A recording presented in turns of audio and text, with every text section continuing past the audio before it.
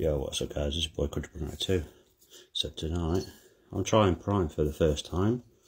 Blueberry one. It was three ninety nine uh, from Go Local in Derby on London Road. Obviously Sainsbury's do sell them for two quid, but they've gone out of sale. So I still managed to get one and I'm gonna give it a try. See what I think. This is gonna taste like piss, I'm guessing.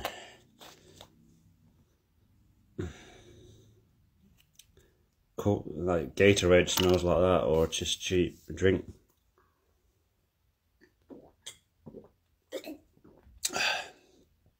Mm. Ooh,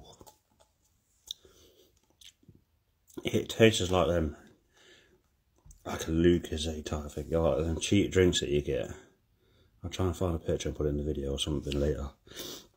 Like them sports drinks, them little sports drinks. I mean, it has a bit of extra sweetness in there. But consider it's got hardly anything in it. I mean, I can see the appeal to the design of the bottle. Made by KSI himself and Logan Paul. Hmm.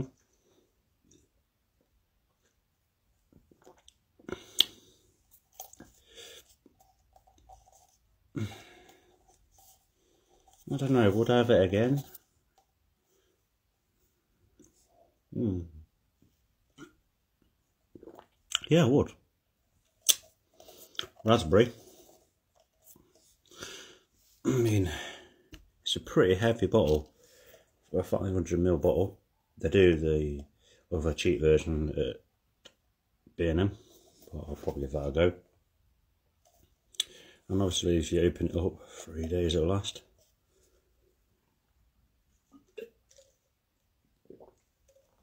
Trouble is, it's cloudy though. Yeah, I thought it was going to be a really potent, strong smell, it really isn't.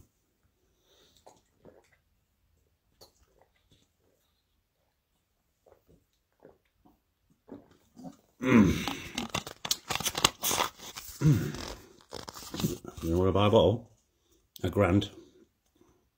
Nah, I'm joking. Hmm. Prime. If I had to give it out of 10, 6.3. But then again, because the design a lot, 7. Okay, a 7 out of 10. I'm not giving it a 10 because I drink Monster. But yeah, Prime. Don't really know what else to say really. It's just bland really, but it's okay. It's okay.